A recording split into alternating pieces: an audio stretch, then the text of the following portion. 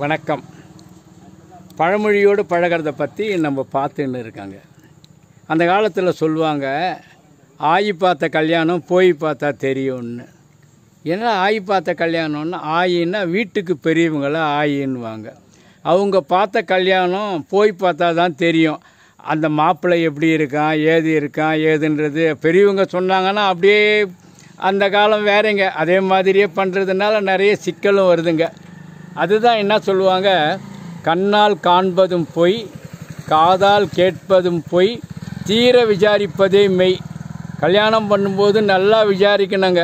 விசாரித்து தான் கல்யாணம் பண்ணணும். சட்டுன்னு கல்யாணம் பண்ணிடக்கூடாது அதில் நிறைய சிக்கல் இருக்குது.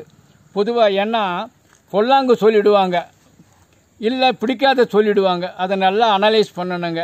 பாருங்கள் கண்டொன்று சொல்லேன்னு சொல்லுவாங்க. இப்போது ஒரு முறை பாம்பே ஜஸ்லோக் ஹாஸ்பிட்டலில் ஒரு பெரிய தலைவர் படுத்துன்னு இருந்தாருங்க.